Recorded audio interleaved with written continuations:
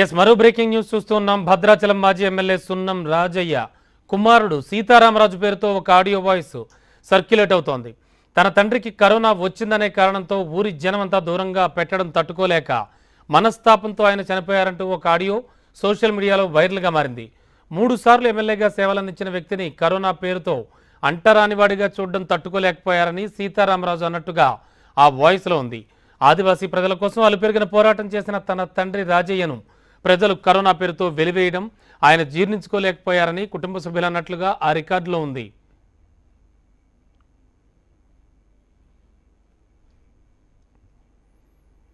Yes గమనించి మా correspondent Nagender సిద్ధంగా ఉన్నారు. మరింత అదనం సమాచారం అందించడానికి నాగేందర్ ఏమిటి సెన్సేషనల్ ఆడియో టేప్స్ వ్యవహారం? ఏం జరిగింది అసలు? సున్నం రాజయ్యని అంటే అంత ప్రజల పక్షాన నిలిచినటువంటి ఒక ఎమ్మెల్యేని ప్రజలు దూరం పెట్టడం ఏంటి? ఇందులో అసలు నిజానిజాలు ఏమిటి? రమణ కమ్యూనిస్టు పార్టీ యోధుడిగా మూడు సార్లు ఎమ్మెల్యేగా సిపిఎం పార్టీ రాష్ట్ర నేతగా ఉన్న సున్నన్ రాజయ్య కరోనా వ్యాధితో మృతి చెందిన విషయం అందరికీ తెలిసింది. రెండు రోజుల క్రితం ఆయన కరోనాతో బాధపడుతూ చనిపోయారు. అయితే ఆయన చనిపోయిన తర్వాత ఆయన మరణానికి గల కారణాలను వివరిస్తూ ఆయన కుమారుడు సున్నం సీతారామరాజు పేరుతో విడుదలైన ఒక ఆడియో ఇప్పుడు సోషల్ మీడియాలో వైరల్గా మారుతా ఉంది. సున్నం రాజయ్య కరోనాతో చనిపోవడం కాదు కరోనా వచ్చిందని తన చుట్టుపక్కల ఉన్న వారు చూపెట్టిన వివక్ష కారణంగానే మనస్తాపంతో చనిపోయారంటూ ఆయన కుమారుడు చేసిన సంచలన వ్యాఖ్యలు ఇప్పుడు ప్రతి ఒక్కరిని ఆలోచింపజేస్తున్నాయి.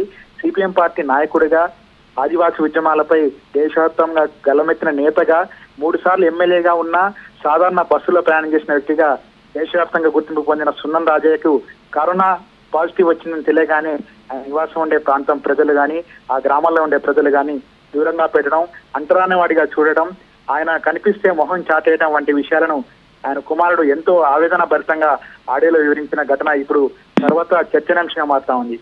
పోరాల్సింది వ్యాధితో రోజుతో కాదంటూ ప్రతిరోజు చెవులు చిల్లుపడేలా ప్రభుత్వాలు చేస్తున్న ప్రచారానికి స్థానికంగా ప్రజల్లో లేని అవగాహన రహస్యానికి ఈ రోజు సున్నం రాజ్య మరణం ఒక ఉదాహరణగా తెలుస్తా ఉంది.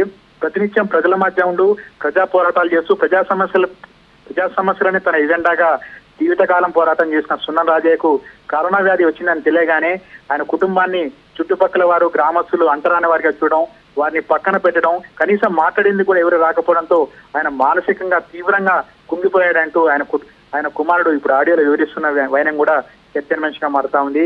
కరోనా వ్యాధి వస్తే ఏమీ కాదు దాన్ని మనోనిబ్బంధ మనోనిబ్బరంతో ఎదుర్కోవాల్సి ఉంది. అటువంటిది ఒక వ్యక్తిని మానసికంగా కుంగిపోయే విధంగా తోటి వ్యక్తులు ప్రవర్తించడం కూడా తమ కుటుంబాన్ని ఎంతో వేదన గురి చేసిందని ఆయన కుమారుడు ఆడియోలో వివరిస్తున్నారు.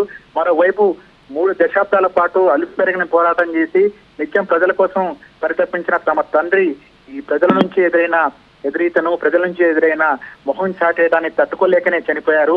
ఆయన కరోనా వ్యాధికి భయపడే వ్యక్తి కాదు చాలా ధైర్యమైన వ్యక్తి చాలా ఉద్యమాల్లో ముందుకు బాగా నుండి నడిపించిన వ్యక్తి. అటువంటి వ్యక్తి కేవలం మానసిక కుంగుపాటుతోటే చనిపోయాడంటూ తన కుమారుడు ఆవేదన పడుతూ విడుదల చేసిన ఆడియో కూడా ఇప్పుడు అందరిని ఆలోచింపజేస్తా ఉంది.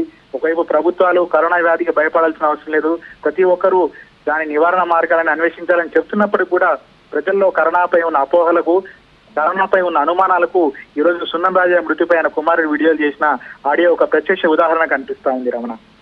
ఓకే నాగేందర్ ప్రజెంట్ సున్నం రాజయ్య గారికి సంబంధించిన అనుయాయులు కానీ ఆయన ఫాలోవర్స్ కానీ లేకపోతే మీరు చెప్పినట్టుగా ఆడియోలో ఉన్న వాయిస్ ఆ సీతారామరాజు వాళ్ళ సన్ ఆయనతో కానీ మనం ఏమైనా మాట్లాడడం జరిగిందా? అసలు వాళ్ళు ఏం చెప్తున్నారు? వాళ్ళ వెర్షన్స్ ఎలా ఉన్నాయి?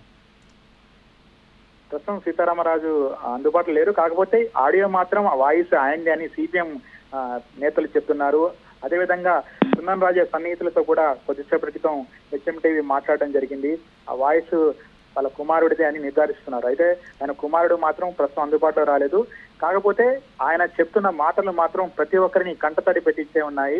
మూడు దశాబ్దాల పాటు సిపిఎం నేతగా అలుపెరగిన ఉద్యమం చేసిన ఆదివాసీ నాయకుడికి జరిగిన అవమానంగా ఇది ప్రతి ఒక్కరు భావించాల్సిన పరిస్థితి. ఒకవైపు ప్రభుత్వాలు కరోనా వ్యాధి నివారణ కోసం చేపట్టాల్సిన చర్యలు వివరిస్తున్న క్రమంలో కరోనా వ్యాధి ఒక అంటరాని వ్యాధిగా కరోనా వ్యాధి వచ్చిన వారిని చాలా దురు దురు చాలా బాధాకరమైన విషయాలు చూసే విధంగా ప్రవర్తించడం కూడా ఇప్పుడు ప్రభుత్వాలు ఆలోచించాల్సిన పరిస్థితి ఉంది. ప్రభుత్వాలు కూడా దీనికి బాధ్యత వహించాలంటూ ఆయన కుమారుడు ఆడియోలో పేర్కొనడం కూడా మనం ఇక్కడ గుర్తించుకోవాల్సిన అంశం. ప్రభుత్వం ఆ, సుందన్ రాజా కుటుంబంలో పాజిటివ్ రాగానే తాముంటున్న గ్రామాన్ని మొత్తం రెడ్ జోన్గా ప్రకటించడం తోటి గ్రామస్తులు అనేక ఇబ్బందులు గురయ్యారు. అది కూడా ఒక కారణం అయ్యింది ఈ- కరోనా ఎవరికైతే వచ్చిందో ఆ ఇంట్లో వారిని మాత్రమే ఐసోలేషన్ చేస్తే సరిపోతుంది కానీ ఆ గ్రామాన్ని కానీ ఆ- వీధిని కానీ పూర్తిగా. రెడ్ జోన్గా ప్రకటించడం వల్ల. మిగతా వారు కూడా ఇబ్బందులకు గురయ్యి ఆ ఇబ్బందులు ఈ రూపంలో అవమానంగా ఎదుర్కోవాల్సిన పరిస్థితి నెలకొందని కూడా కుమారుడు ఆడియోలో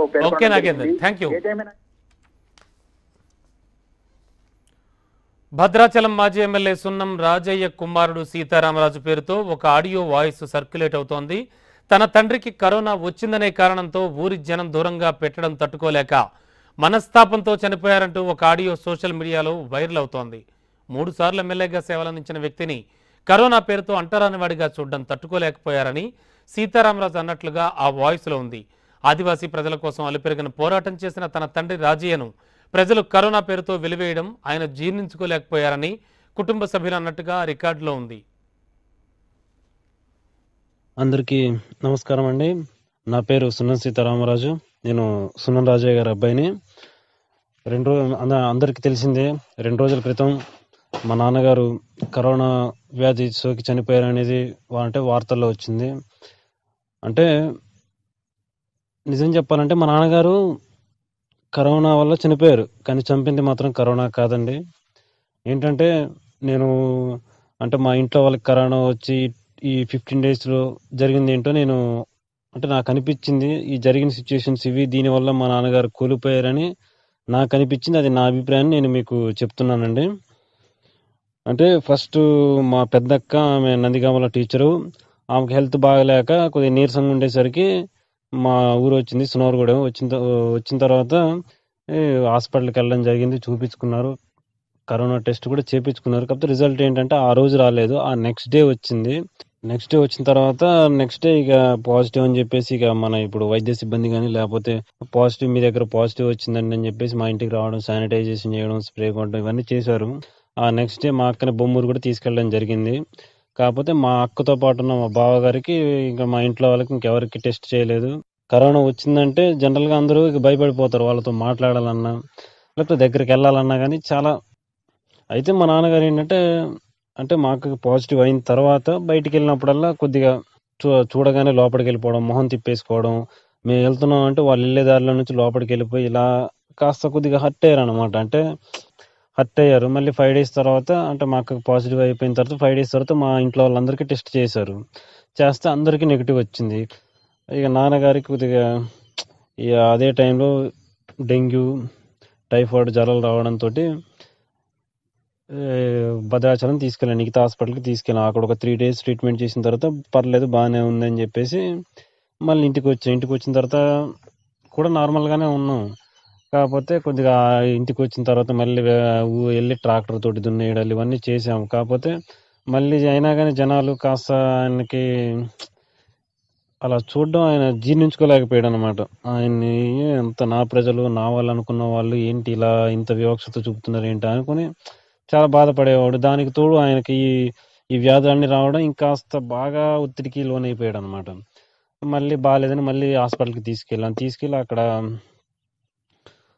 అక్కడ మళ్ళీ టూ డేస్ టూ డేస్ ఏమో హాస్పిటల్లో ఉంచాము. ఉంచిన తర్వాత మళ్ళీ కొద్దిగా ఇబ్బందిగా ఉందని చెప్పేసి ఇక మళ్ళీ ఒకసారి టెస్ట్ చేయించాను. టెస్ట్ చేయించే కానీ పాజిటివ్ అని వచ్చిందనమాట.